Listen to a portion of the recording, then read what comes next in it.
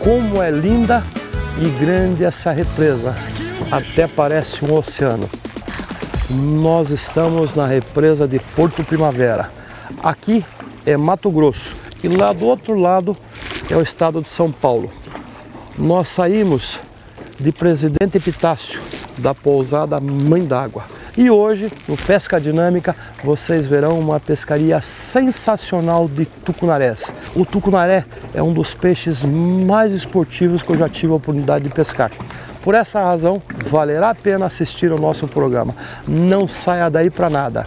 É um local de fácil acesso, apesar de estarmos a 640 km de Curitiba, um local de fácil acesso e uma oportunidade para você conhecer esse local e quem sabe futuramente vir pescar aqui.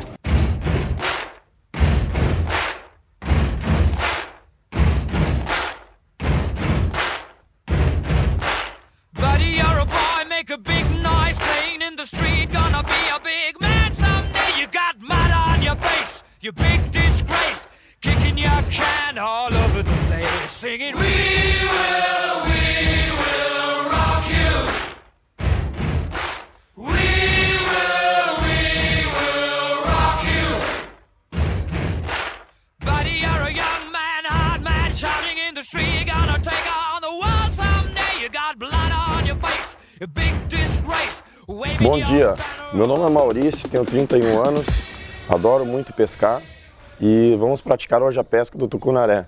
E fui aluno do Reino de no Pesca Dinâmica. Eu sempre digo no curso, né, Maurício? Quem não pescou o tucunaré ainda não teve adrenalina de pescador, né? É Porque verdade. o tucunaré é muito esportivo, principalmente na modalidade que nós iremos iniciar a pescaria, isca artificial, É né? artificial, é muito gostoso de pescar, né? Um peixe, ele é predador, né? É caçador, então é, quando ele ataca a isca é sensacional, a adrenalina vai a mil. Ele dá um estouro em cima da isca e o teu coração vai a mil, né? É verdade. Porque É um peixe de arrancada fulminante. É uma viagem tranquila, né? A gente fez uma viagem muito gostosa, a estrada está excelente e vale a pena vir aqui pescar. Esse local é muito frequentado por vários pescadores do Brasil, principalmente os pescadores paranaenses do norte do Paraná e também muitos curitibanos vêm aqui, porque aqui você pega uma quantidade assim exagerada de tucunarés e também tucunarés de grande porte. Na minha opinião, eh, pela proximidade de Curitiba, é o melhor pesqueiro ao alcance do pescador curitibano, né? É, para tucunaré, com certeza, né? Que estrutura que é essa que nós ficamos hospedados? é? É, aqui é a pousada Mãe d'Água, né? Eu sempre que venho pescar aqui em Pitácio, eu fico aqui, é muito gostoso aqui. Aqui o André é quase que curitibano, né? É, é verdade. Então nós chegamos ontem à noite, já fomos recepcionados aí com um belo no churrasco, já tomamos um excelente café da manhã e agora nós vamos para a água.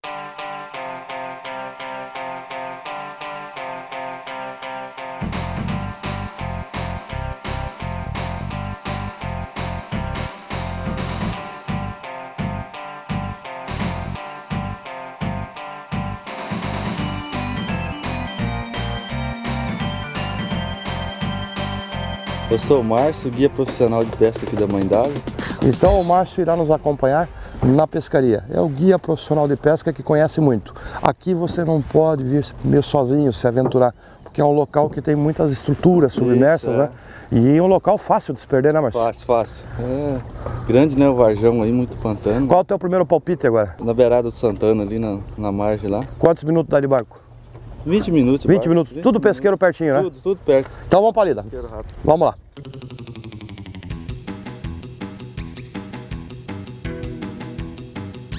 Sempre use o colete salva-vida, principalmente quando você for navegar.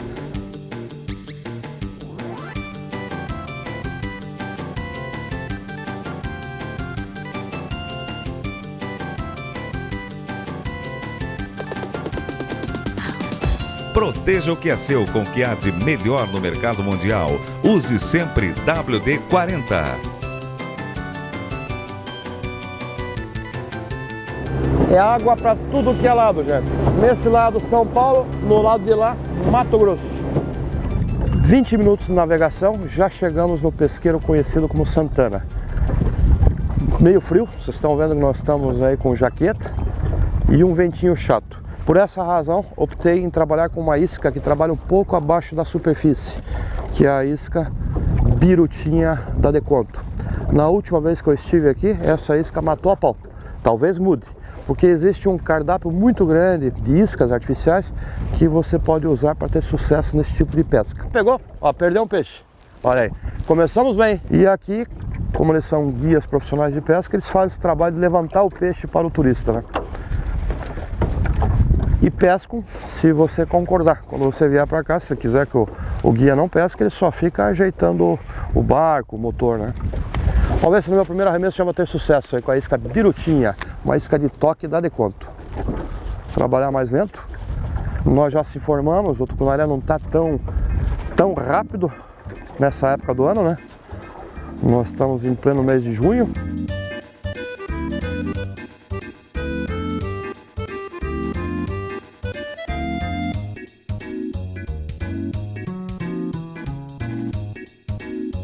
O Márcio está com uma isca jumping bait, uma isca que trabalha em Z, então ele vai arremessar e eu vou arremessar minha isca atrás.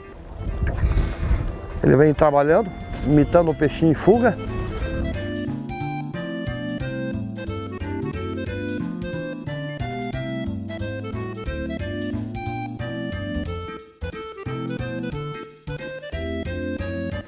E na pousada Mãe d'Água você também aluga o barco.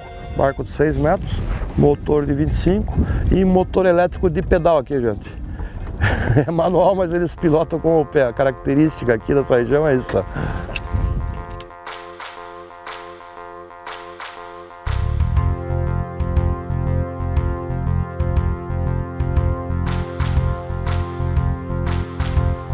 Maurício pegou, primeiro do dia.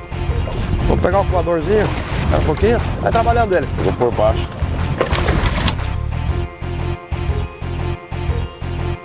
Tá, aqui ou Aqui acabou? o bicho. Primeiro tucunaré do dia. Deixa eu ajudar o Maurício aqui. Tucunaré já na medida, né? Azulzinho, né? Sempre com material de segurança, gente. Alicate e contenção porque ele chacoalha muito. Quantos pescadores já estragaram a pescaria porque ele pegar na mão, né? Perigoso. Até dá pra você pegar o tucunaré pela boca, mas só que ele tem os dentinhos. Na hora que ele dá a chacoalhada, ele pode tirar tudo o couro do teu dedo. Tem uma lixa na boca, né? Vou soltar aqui pra você, Maurício, pra você mandar pra foto. Esse é o nosso amigo tucunaré. O meu aluno, parabéns. Obrigado. Provou que o curso funciona. Pega aqui e vai pra foto.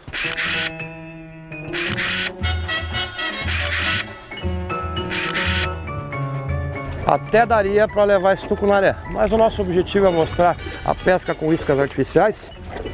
Você que não conhece o tucunaré, isso aqui é uma fêmea, né? Olha o bocão do bicho. É bonita, hein? Uma característica básica do tucunaré é o ocelo aqui na, na cauda, né? Dos dois lados. Tenho o prazer de soltar.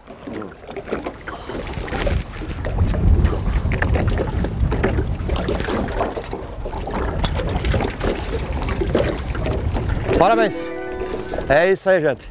Muita emoção com o tucunaré. Apesar de hoje estar com esse frio, vento, o bicho é doido. Pegou aqui no lado do barco, né? Pegou pertinho. Vamos pro próximo? Vamos.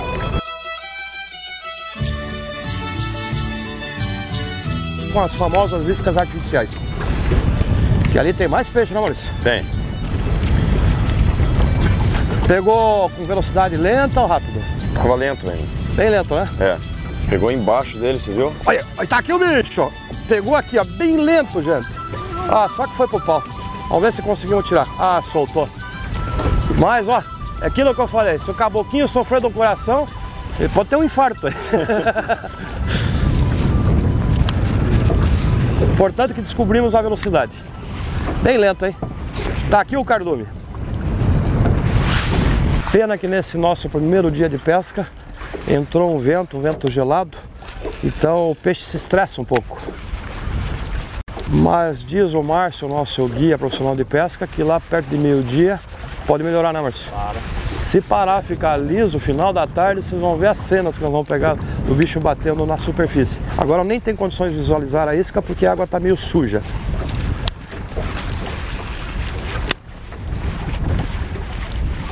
Suja devido ao vento, né?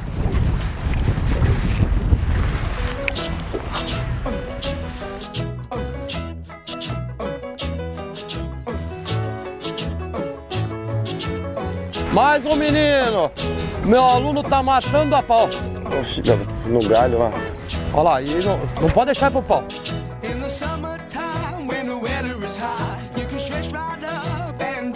Erga a vara, erga a vara pra ele vir pra cima. Esse é o macete, ó. Quando tem muita estrutura, segue bem a Tá, vara. tá aqui ele, ó. Aí ele? ali, ó. Ei, caboquinho, ó. Puxa pra cá então que eu vou passar o coadorzinho pra você. Mas hoje meu aluno tá incrível, hein? Tá aqui o E bicho. hein? parabéns, caboclo. É isso aí, ó. Mais um pra coleção. Outra fêmea, irmã daquela que ele pegou. Esse peixe aqui daria medida para levar? Esse dá. Dá. Então vamos fazer o seguinte. Como nós queremos mostrar um top culinária para vocês aqui na beira do barranco. Você quer levar esse ou quer levar o maior?